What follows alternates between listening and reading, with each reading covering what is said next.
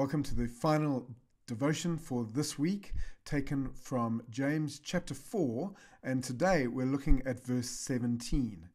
If anyone knows the good they ought to do and doesn't do it, it is sin for them. We're talking here about the sin of omission. Sin is often defined and understood by us as being not uh, doing what we know we ought not to do, committing those sins, uh, often defined for us by the Ten Commandments that we do when we know we shouldn't do them. Those are sins of commission. But the Bible is equally clear that there are sins of omission when we don't do what we ought to do. Now, I think it's helpful for us to understand what James is saying here in the context in which he says it. It seems like a verse of its own, but it does come in the context of James talking about people and particularly businessmen who plan their lives without reference to God. And particularly, the businessmen are planning lives of uh, moving, of making money, of growing their businesses, and becoming rich.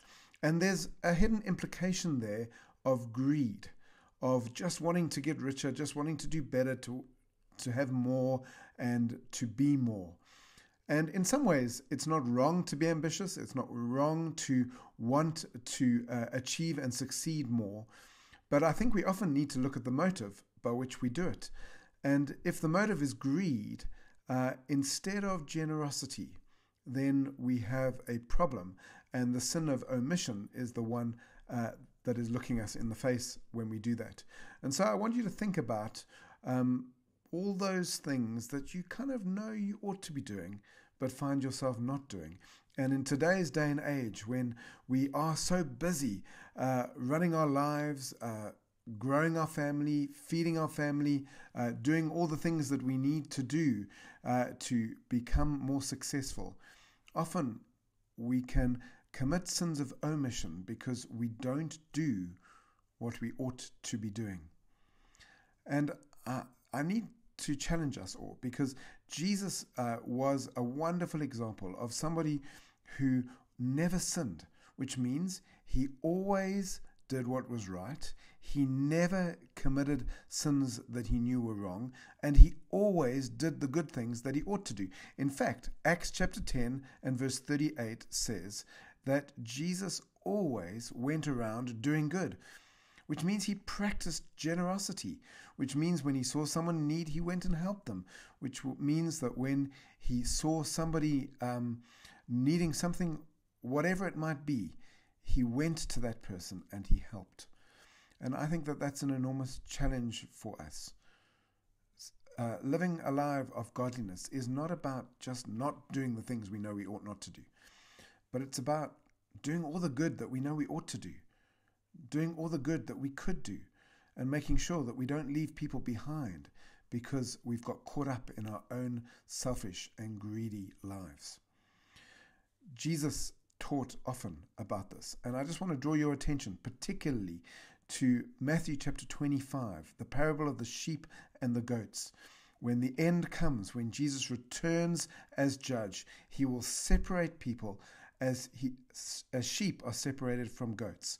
And then he will welcome those who are sheep into his heavenly home, and he will uh, send those who are goats away to uh, the fire prepared for the devil and his angels. And this, the, the way in which he determines the difference is by what we did for those who are in need. It's not sins of commission. He's not separating us because we didn't commit adultery or we didn't steal or we didn't murder or we didn't lie or we didn't cheat. He separates us because we did help those who were needy. We did help those who were hungry. We did provide for those who were thirsty. We did give clothes to those who were naked. Uh, we did look around us and see everybody uh, around about us and we helped where we could. We didn't commit sins of omission. We were generous. We were open hearted and we saw the needs that were around us and we acted in order to help. I want you to think about that. I need to think about that for myself. Uh, if we uh, are seeking to live lives that are pleasing to God, then we are seeking to live lives where there is no darkness in us at all. And that means that we're avoiding everything sinful, and it means that we do everything that we know to be good. God bless you as you think through the implications of that for your life.